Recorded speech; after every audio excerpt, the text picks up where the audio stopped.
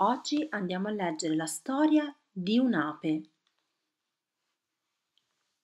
L'ape Tina e la primavera. È mattina. L'ape Tina si sveglia. È freddo, ci sono le nuvole e tira vento. L'ape Tina vede gli alberi senza foglie. L'ape Tina vede pochi fiori. È notte. L'ape Tina torna a casa.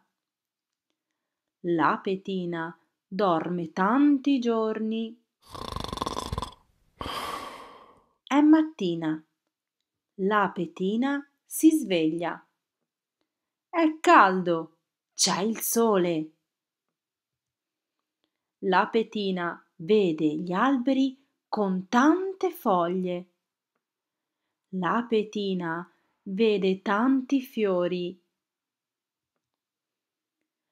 L'ape Tina pensa: Evviva! È primavera! Prendi il tuo quaderno, disegna un'ape e colora di giallo con le ali azzurre. Adesso descrivi il fiore. I petali di che colore sono? Sono rosa oppure azzurri? I petali sono rosa. Le foglie di che colore sono? Sono gialle oppure verdi? Le foglie sono verdi.